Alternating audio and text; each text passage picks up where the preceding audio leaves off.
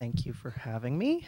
Um, I have a couple photos from the time that I spent in the field that I'll play behind me, so it gives you a little bit of an idea of the magic that I see in some of these animals. Uh, I grew up watching more elephant documentaries than I can remember, and my parents actually uh, can recall saying, you know, don't you want to watch cartoons? I said, no, I want to learn more about elephants. That's what I want to do. Uh, that's been translated into this continuing passion for elephants. I don't know what it is about them. It's so hard for me to explain. They're huge, they're beautiful, and they're intelligent and emotional. And to me, that is just so inspiring. So I got to spend the last two summers of my college career at a remote water hole in Etosha National Park, Namibia, studying the social lives of, these, of this population of elephants.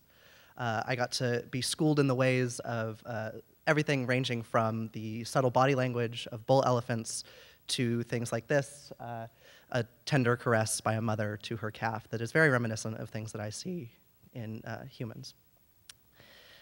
Elephants face unprecedented threats today. In today's world, Africa is pretty much a battleground right now for them. Uh, we are currently at a population of around 472,000 elephants. That might sound like a lot, but compared to the 5 million elephants that roamed Africa just 60 years ago, it's a paltry sum they are suffering at the hands of illegal hunting uh, to fuel an ivory trade that has been spurred into action again by a rising demand for carved ivory products, primarily in East Asia, uh, significantly China, uh, where ivory serves as a status of wealth and, um, and high status. So I am so, so incredibly heartbroken over this because I've gotten to know these elephants. Uh, all elephants, to me, are, are this one big family. and to lose any one of them is a tragedy because they have so much left to teach us. And so I drew on that inspiration when I performed this piece, and I hope that you enjoy it, and I hope that today your eyes shine for the elephants.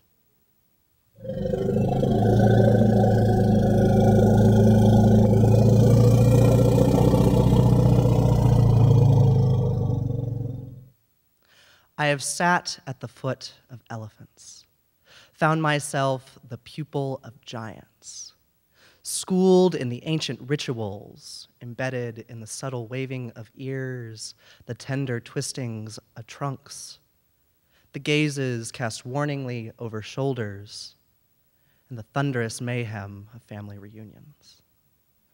I found rhythms in their rumbles that I didn't know existed, forming words in a language that I will never fully understand. Let them bounce along my ear canals, feel my sternum shudder under the impact of vibrations that hit the ground with the force of small bombs. They're booming. I close my eyes, let the power of this foreign music wash over me, sway with a smile as I hum along with them. Let's go, they say, with slow footfalls of padded feet then they're gone, drifting like gray ships into oceans of brush.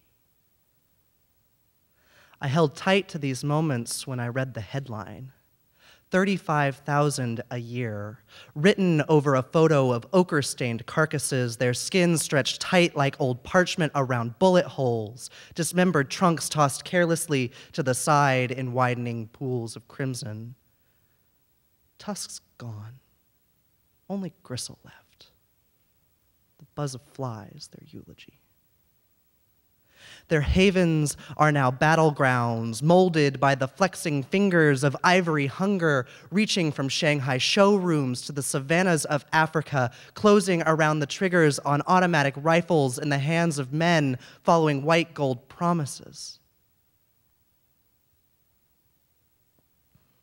35,000 mothers, fathers, sons, and daughters, 35,000 giants reduced to pairs of teeth, hacked from still warm faces at the cost of histories and wisdom no longer passed on, in the caresses of trunks, the waves of ears, or the rhythms of rumbles, but stacked in dusty warehouses as hollow tusks, like old scrolls sealed shut with bloodstains.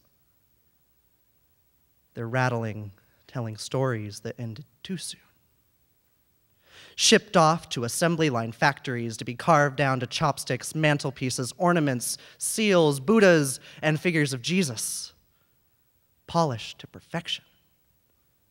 Divinity in ivory, only the best quality. It's said the elephants mourn their dead. Stand in solace, holding jawbones close against chests, carefully grasping sun baked tusks, remembering. But now there are more bones than can be mourned for, guns outpacing grief. Fifteen years until only elephant ghosts remain.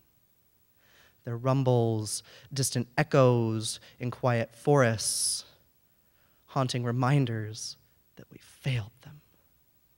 Thank you. And please remember never buy any ivory products, it all comes from an elephant. Thank you very much.